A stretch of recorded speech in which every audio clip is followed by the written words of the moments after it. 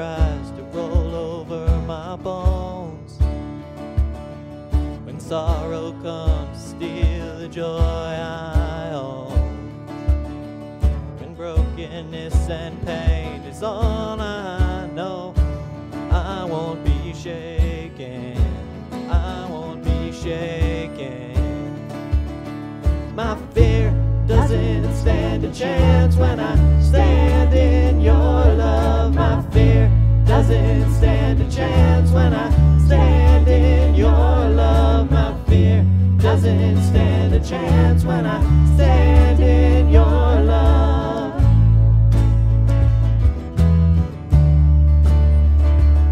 There's power that can break off every chain. This power that can empty out a grave. There's resurrection power that can save. There's power in your name. Power in your name.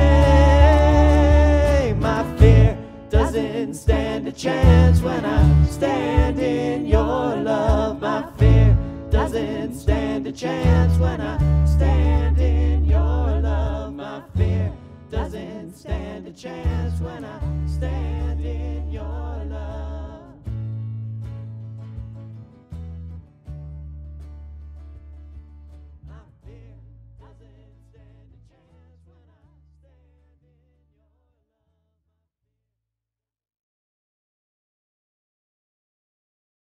Hi, friends. It's so good that we get to gather Sunday after Sunday uh, to come together and to worship. While you're worshiping online at 9:30, we have our encouragement on the green. It's just a great time to be out in uh, the outdoor space that we have, to be socially distant, to wear our mask, but to enjoy the company of one another as we praise God. And then uh, this week, we have just started an amazing outreach opportunity that whether you're young, you're old, or you're in between, you are going to want to in and be part of this. This is our virtual vacation Bible school where we are learning about the essential workers of the Bible. And we're also celebrating the essential workers that for months have just been working tirelessly with good courage uh, to help us to get through this crisis. And so uh, it's not too late. You can register, you can pick up a packet at the church and just join in with your family. Uh, perhaps grab a neighbor and join in this incredible outreach ministry that we have going on. And then I'd like to tell you that today we are going to celebrate communion. So if you want to just take a moment and pause this video and go and get your elements, get some bread, some juice, so that you're ready to celebrate uh, the sacrament of the gift of what Jesus has done for us.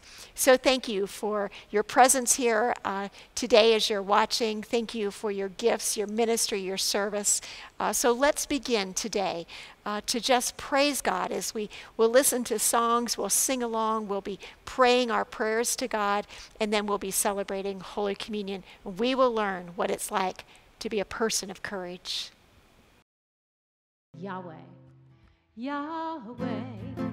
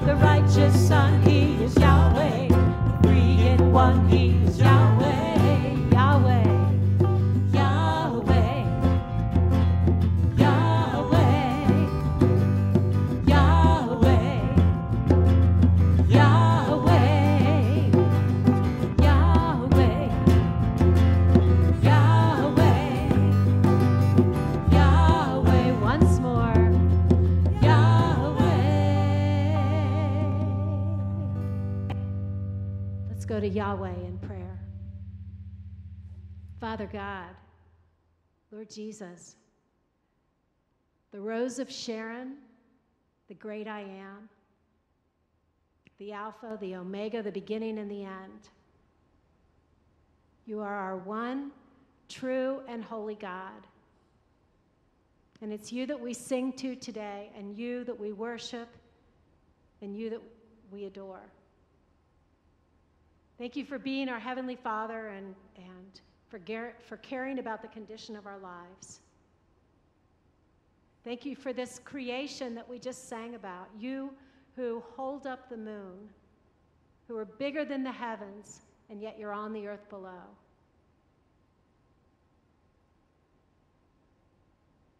Lord Jesus, I just pray that as, as we go through this time together, that you would speak to our hearts. You have a word for each one of us. I know that you do. But so many times we put those walls up around our hearts. So, right here in this place, as we come together in your sanctuary, and as many brothers and sisters sit in the quiet of their houses, I just pray that you would speak to our hearts and help those hearts to be open. You're the one we need, the one that we can't live without. So thank you, Lord Jesus, for the love that you give to us. We need you so badly. We worship you and we adore you. And it's in your name that we pray. Amen.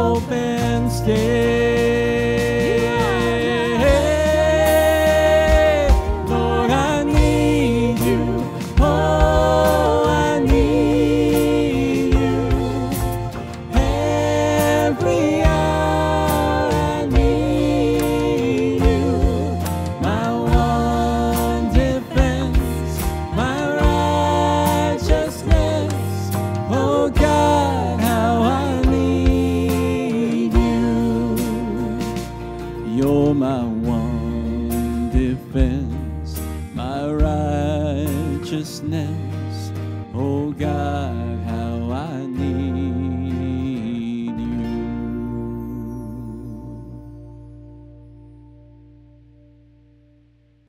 It was so good to be together um, here in the sanctuary, but also to be able to come into your houses today as we worship together.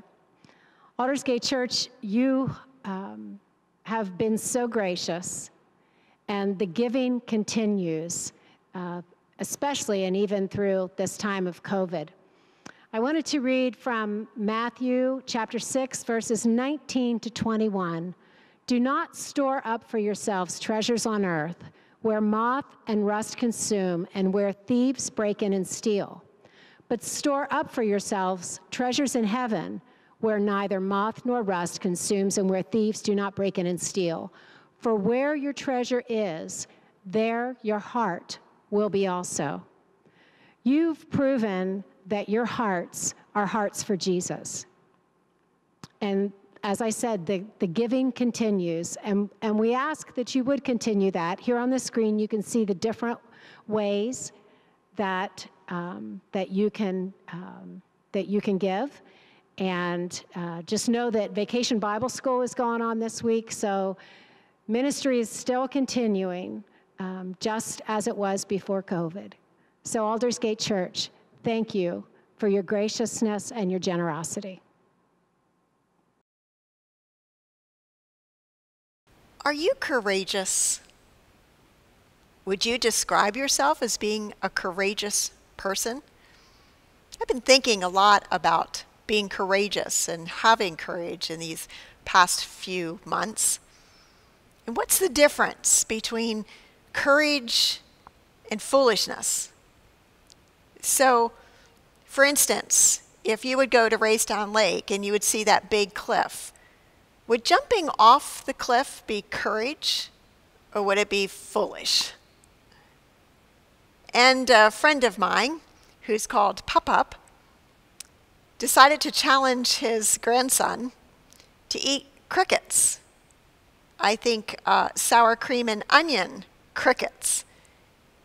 Is that a display of courage to eat crickets, or is it foolish? I don't know. And what about going to Disney and, and going down the Tower of Terror? Is that courage or is that foolish? Or going on a blind date? Is that courageous or is it foolish? Or on a more serious note, what about going to work in a hospital where you're met with patients who have COVID every day, where you're battling the COVID virus every single day? Is that courageous or is it foolish? So you might want to pause right now and perhaps talk to some of the people that might be watching with you. What do you think courage is? And how do you test yourself to understand what real courage is and what something maybe is just plain foolishness? For me, when I ask that question, the answers that I've come up with is that courage ought to be the best version of myself. Courage should propel me to be the very best version of myself that I can be. It ought to stretch me. And the other test that I always ask myself is is courage when I have a demonstration of courage, when I use courage in my life, is it for the greater good? Is there a bigger consequence to my courage than just the act of, well, I can say I did it? I don't know what those answers are for you. But what I do know, friends, is in this day and age that we're living in, I believe that we need courage courage of all kinds and demonstrate it in all ways. We've begun our vacation Bible school, which is just a beautiful demonstration of courage to do something different, to be able to do this digital vacation Bible school and to go out to families of all ages. This isn't just for children, it's, it's for anyone who wants to partake in understanding what it means to be an essential worker for the kingdom of God. And so that's taken a, a huge step of courage. And we're celebrating each week what it, does it mean to be an essential worker for Jesus. And so today, it's about, well, what it means is we need to have courage. So I want to introduce you to some of my friends in the Hebrew Bible. In fact, five of them in particular demonstrated such unique but bold courage. And I want you to feel what it took for them to exemplify this courage and then to ask yourself, what would it mean if I had that kind of courage? How would it translate in my life? And so we're going to go to Exodus, and it's the beginning of Exodus chapter 1 and chapter 2. We just kind of end it that the, the people have gone into Egypt. Remember, there was a famine, and so Jacob took his family and they went to Egypt so that they could survive this famine. And while they were there, Joshua 1 9, remember that command from God to Joshua that says, Joshua, you be bold and courageous. Do you hear that word? Be bold and courageous. Be fruitful and you multiply into this land that I'm giving you. And that's exactly what was happening. So as these people were in Egypt, the Israelites were flourishing and they were thriving, and Joseph was the number two Hebrew in command in Egypt. There was a great respect for the Israelites. And then time passed, and that Pharaoh died, and that generation died, and there was now a new Pharaoh, a new king, and he didn't know how Joseph was so respected. And so it was a new day. And what we find is this king had a new understanding and he looked out on all these Israelites that were just multiplying and flourishing. And he looked out, and instead of exhibiting a sense of courage, of being able to cross lines and establish relationships and allow himself to be stronger as a nation, including the Israelites, he responded in fear. So listen to Exodus 1 9 and verse 10. Then a new king began to rule Egypt. He didn't know Joseph. This king said to his people, Look at the Israelites. There are too many of them, and they're stronger than we are. We must make plans to stop them from growing stronger. And then he says this if there's a war, they might join our enemies, defeat us, and escape from the land. There was no proof the Israelites had never had an insurrection. They had never offered opposition to the Pharaoh. But the Pharaoh responds not out of courage of let's use the strength of these people and let's be a greater nation because of it. He uses the words if and might. If there's a war, if there's a war, then they might, all circumspect, as it's not really happening yet, but just if do you hear the fear in this Pharaoh's words? If, then might. Do you hear the fear when you are perhaps asked to do something courageous? It just seems to be our human nature, our human reaction, doesn't it? To say, but if, yes, I'll do that, but if, that there's always this qualifier that we're allowed this scapegoat, we're allowed this way out, we're allowed this back door that allows fear to take hold and dismantle our courage. And so the Pharaoh comes up with a plan. And he decides that Hebrew boys are the greatest threat. And so he finds two midwives. And you may never have heard these names before. We don't name our children these names, although these are beautiful names and beautiful meanings. The first is a midwife called Shiphrah. And Shiphrah means fair and beautiful. And her helper is Puah. And Puah means young or young lass. And so we're to understand that perhaps Shiphrah was the teacher of all the midwives, but she gains the attention of Pharaoh. And Pharaoh goes to Shiphrah and Puah, and he says, Here's the deal, ladies. When you are helping the Israelite women to have babies, if they have a girl, you can let them live. But if they have a boy baby, I want you to kill them. I want you to kill them and Shiphrah and Puah. Listen to this. This is their commander. This is their authority that they have to listen to if they want to survive. And what's interesting is they don't respond and if or a might, but they respond with real integrity of courage. What they say is that they trusted God. In verse 17, but the nurses trusted God. So they didn't obey the king's command. They let all the boys live. Now, I just want you to appreciate how deep this act of courage was for these two midwives because they were directly disobeying a king's command. And most notably, they would probably be put to death. And yet, and yet, what they put first is we trust God and we know this to be wrong. And so we are going to stand up. And that's the first principle of you and I enacting true godly courage is sometimes we are asked to stand up. And so they stand up and, and they decide we are not going to take life. In fact, our calling as midwives is to preserve and to encourage life, not to take life. We cannot be someone that we are not. And so they stand up and they don't do it. And the king comes to them and he says, Why are this why are these these children flourishing? Why are we still having babies? I thought I told you that you were supposed to kill the baby boys. And they use their creativity. And they say, Oh, Pharaoh, remember you said that they're a strong nation. You said they're a strong people, that they're multiplying and they're flourishing. You said that, Pharaoh. And you know what, Pharaoh? You're right. They are. They're so strong that we can't even get to them. They're, they're just, they're having babies before we can even get to intervene. And they turn Pharaoh's words right unto himself. They're courageous enough to stand up and to preserve the life because, look at that verse, they trusted God.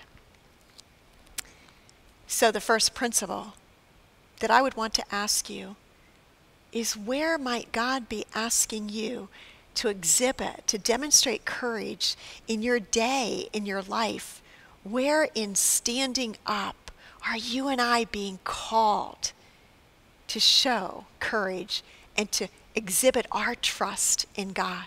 But the story doesn't end there because now there's another introduction of another character into this story. And so in chapter 2 of Exodus, we're introduced to a couple who now have a baby, and the baby happens to be a baby boy. This couple already has two children an older son and a 10 year old daughter named Miriam. And so this mama understands the edict from the Pharaoh. She knows that her child is in jeopardy. Her baby boy's life is going to be somehow squelched out. And so she hides this baby. For three months, she nurses him and hides him. But at the end of three months, we're told that she can no longer hide him. And so she exhibits courage that's really extraordinary to me. It's not courage to stand up. She doesn't take that baby boy and go to Pharaoh and say, This is wrong. My baby should live. I'm going to stand up to these edicts. She doesn't do that. She exhibits courage to give over. Sometimes we're asked to have the courage to kind of give it up and give it over. Now, she's not giving up. We know her creativity tells us she doesn't give up. Because what we're told is that she puts the baby in the basket. She takes tar and she coats this basket, and she puts the basket in the river in the tall grass. Do you know where she's taking her baby? She's taking her baby to the very place where the Pharaoh is saying, You drowned the baby boys in the Nile. Now, this was contrary to the Pharaoh's theology because Egyptians saw the Nile as a source of almost divinity, it was a source of life. And the Pharaoh is, is just using the Nile against his own belief. He's using it as now a source of death. But this baby's mother takes her child to what? Does she believe she's taking her child to the source of death, that perhaps no one would look there for life?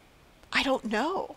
Is she taking her baby to the Nile as a source of life because she knows that perhaps people in the in royalty, the palace, the princesses and the servants bathe in the Nile by the palace, and so perhaps there would be a way in which there would be grace and mercy extended to her son? We really don't know in the white space, but we know she's creative to try something, to give over her son to the possibility that God would have something else waiting. And so she gives over. She gives over in an incredible way. She takes herself out of the picture and she gives up her son. I have a friend who adopted a child in Peru. And the backstory was that this mom and dad in Peru had already had five children. This was their sixth child, and they knew that this child was destined to a life as a street vendor. And they saw the opportunity that perhaps if they allowed this child to be adopted by an American couple, this child would have a life and opportunities that they could not give this child. And so, you know what they did? This family, after tears and grieving and sadness and sorrow, they gave over their child for a better tomorrow. Friends, it's really what God did in giving us Jesus. God gave up his only Son so that we would have the hope of eternal life, that we would have abundant life in Christ. And so this story continues. We're introduced to now the third person, Shiphrah, Puah, understanding that they were standing up, and now Moses' mother is giving up, giving over, and now enters this baby's 10 year old sister and she speaks up. For the baby's sister, as the mother and, and sister were perhaps watching this little ark going down the Nile and, and watching from the bulrushes and wondering, can we see, we'll be able to tell what happens to this precious life. The baby sister was still hiding in verse 7. And she stood and she asked the king's daughter, as Pharaoh's daughter looked at this little boat coming down the Nile and saw that it was a Hebrew child. And she, Miriam, speaks up and she says, Do you want me to go find a Hebrew woman who can nurse the baby and help you care for it? Miriam had the courage to speak up. She could have given herself away. She could have been in great distress and great trouble. And yet, it was for the greater good that she was able to come out and to speak to Pharaoh's daughter. When do you and when do I need to speak up for someone?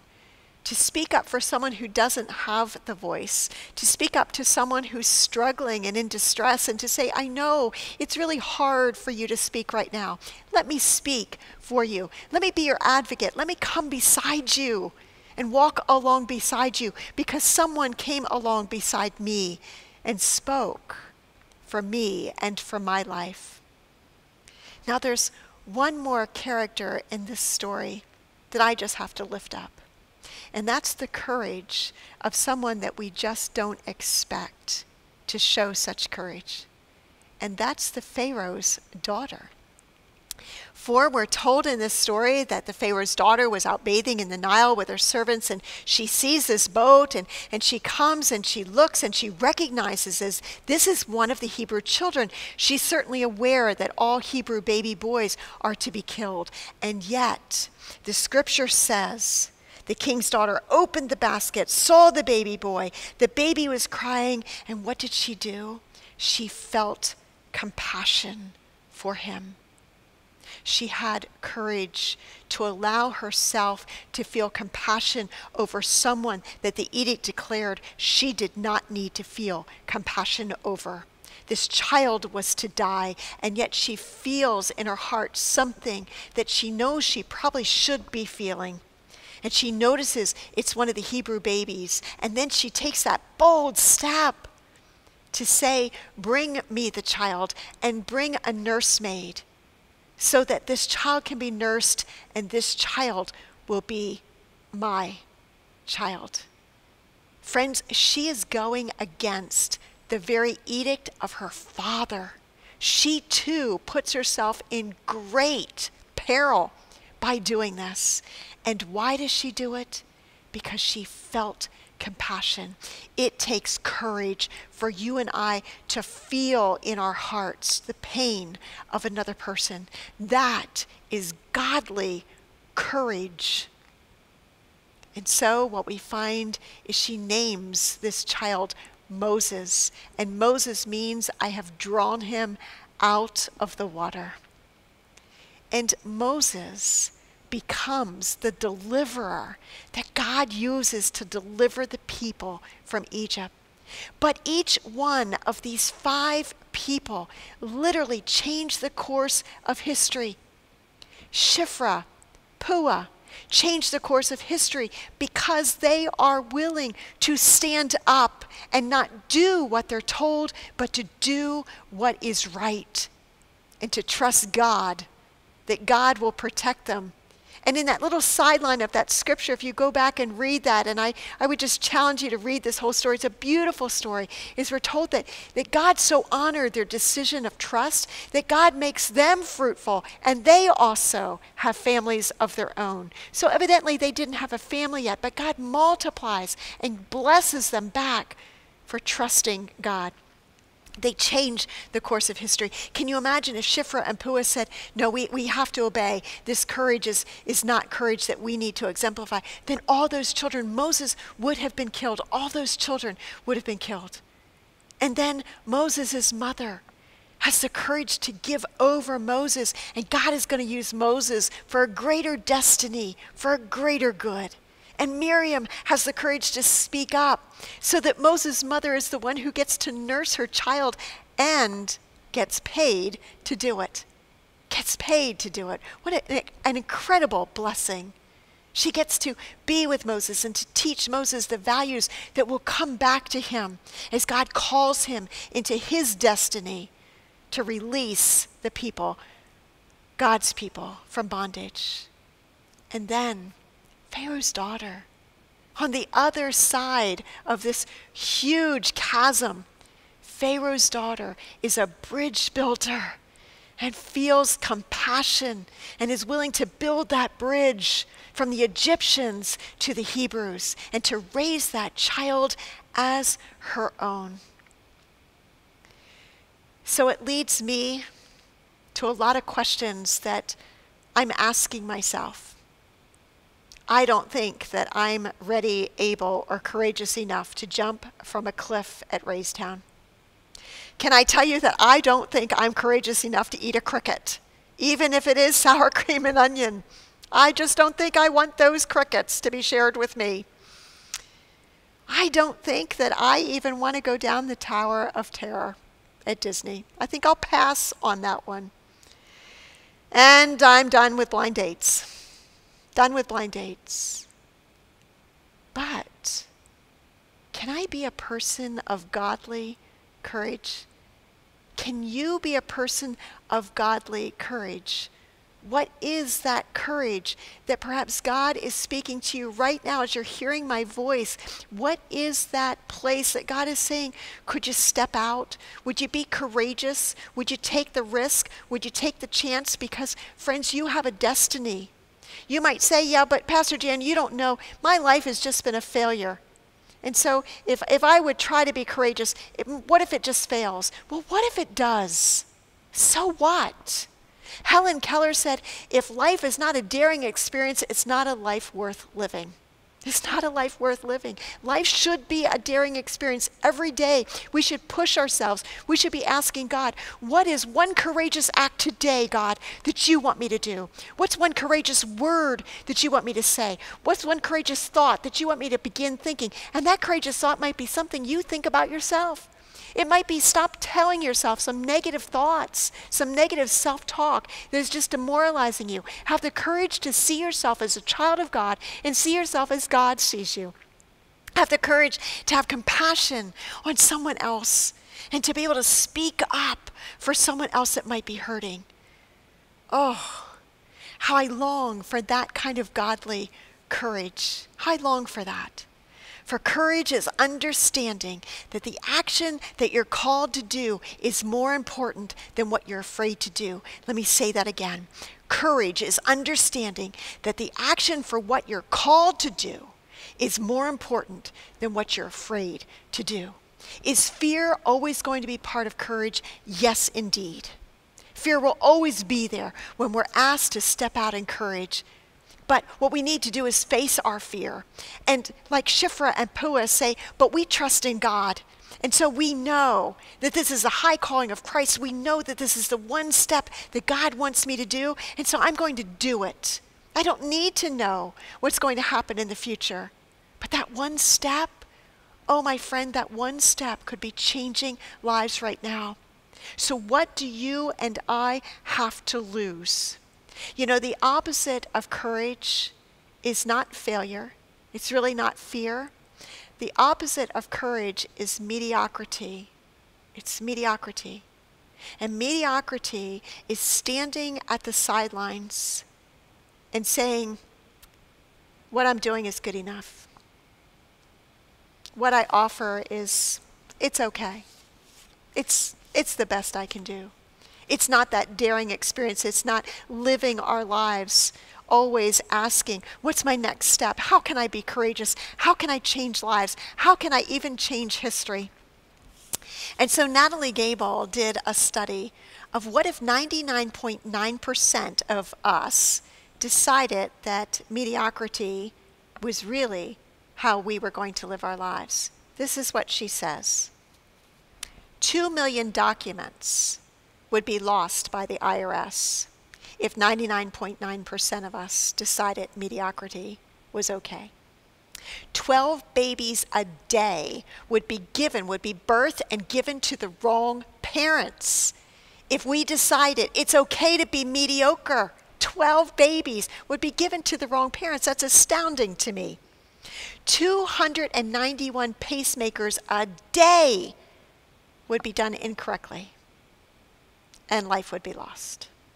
29,000 prescriptions would be given to people incorrectly. 29,000 prescriptions. Your prescription would be given to you, and it might not be the best or the right prescription or the right dosage because someone behind the counter said, Mediocrity is okay. I will not be challenged to be courageous to be my best. Mediocrity is all that's necessary.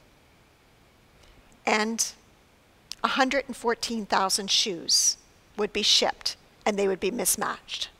Now that's a crisis.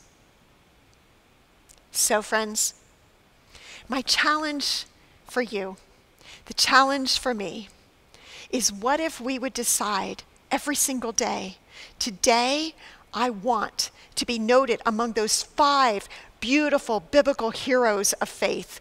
I want to be courageous. What if today you and your friends, your family, or just you alone, what if you just today said, What's one courageous act? What's one thing that I think that God might be calling? It might be so small, it might be so big, but what's one courageous act today that I could place in my mind and my heart and I could fulfill today? What it will require is that you face your fears. You're going to have to say, but with this courageous act, if then, what if? You're going to be in that same spot of the Pharaoh of, of like, well, what happens if? And I want you to respond like Shiphrah and Puah and say, we trust. Oh, we trust in God.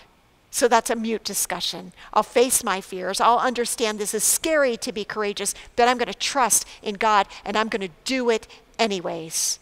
And you take that step. I would just challenge you to write that down today, those three steps. What can I do? What's one courageous action? What's one courageous thing that I can do each day of my life? But today, what's that courageous?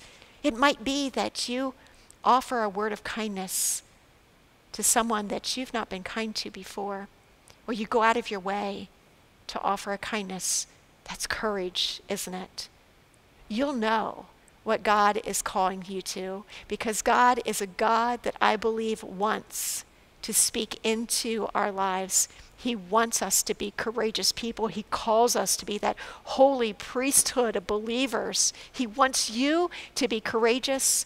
And what he's telling you is you, with one courageous act a day, you can change the world. So thy kingdom come, thy will be done on earth shall be as it is in heaven. I want to pray for you today. Oh, holy God. Mediocrity is easy, it's safe, but it is not what you have called us to be. It's not what you have called your church to be. And so we stand before you and we pledge we want to be courageous.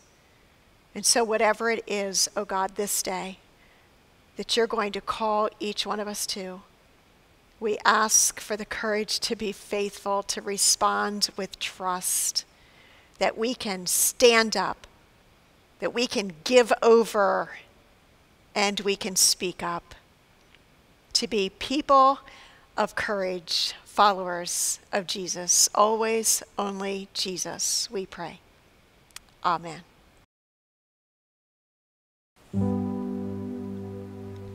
Friends, Jesus modeled for us courage when at the table, the Last Supper, the last time that he was together with his disciples, he could have chosen mediocrity. And yet, he chose courage. He chose courage to do the will of his Father. And so Jesus took bread. He broke that bread and he said to his disciples, You take, you take this bread and you eat of this bread. For from now on, you will always remember that this is my body and that my body will be broken for you, that you might have life and have it abundantly. And then Jesus, he took the cup. He said to his disciples, Pass this common cup. Pass this cup. And as you take this bread and you dip it into the cup, you know that this cup will forever mean the new covenant so my life is going to be poured out for you, for the forgiveness of sins for you and for all humankind. Do this in remembrance of me. And so, friends, we pray for the presence of the Holy Spirit. Come, Holy Spirit, as you take up that bread in your hand and you ponder that piece of bread and you know that Jesus, you died for me and, and I can't grab at it, this is the very bread of life that I'm holding. And then as you dip that bread into the cup, that you know that Jesus died for you, that he forgives you every sin that you've committed, that you will commit, every sin. It's wiped away when you ask for forgiveness. But you eat and you drink in remembrance of Jesus. This is the body of Christ broken for you, and the blood of Christ shed for you. Eat and be satisfied. You may want, if you're watching this with others, you may want to serve one another in a model of courage and love and compassion as Jesus has told us to serve and to love one another as He has loved us.